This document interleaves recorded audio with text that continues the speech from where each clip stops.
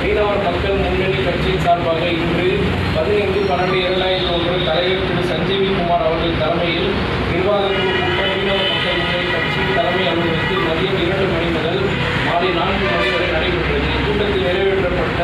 நிறைவே நிறைவேற்றப்பட வேண்டிய தீர்மானம் பற்றி அனைத்து நிர்வாக செயற்குழு உறுப்பினர்கள் முன்னிலையில் தலைவரால் எடுத்துரைக்கப்பட்டு கீழ்கண்ட தீர்மானங்களால் நிறைவேற்றப்பட்டது தீர்மானம் ஒன்று மீனவர் மக்கள் முன்னணி கட்சியின் நோக்கம் குறித்து மீனவர் மக்கள் முன்னணி கட்சியின் நோக்கமான ஏழை குழந்தைகள் மற்றும் மாணவர்களுக்கான கல்வி மருத்துவம் உணவு போன்றது எங்கள் கட்சியின் மூலமாக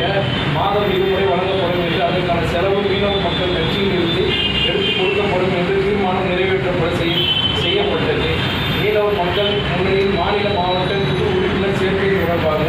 மீனவர் மக்கள் கட்சியின் நிறுவனர் தலைவர் சஞ்சீவ்குமார் மற்றும் மாநில செயற்குழு உறுப்பினர்கள் முன்னிலையில் மீனவர்கள் மக்கள் முன்னணியின் கட்சியின் பொதுச் செயலாளரும் மற்றும் பொருளாளரும் மாநில மாவட்ட நிர்வாகிகள் நியமனம் செய்வதாக ஏகமானதாக முடிவெடுக்கப்பட்டுள்ளது.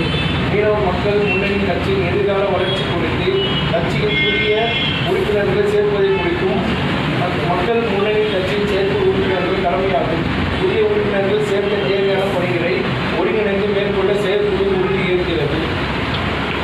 மீனவ மக்கள் கட்சியின் சார்பாக இரங்கல் தெரிவித்த குன்னூர் அருகே கடந்த எட்டு பன்னெண்டு இரண்டாயிரத்தி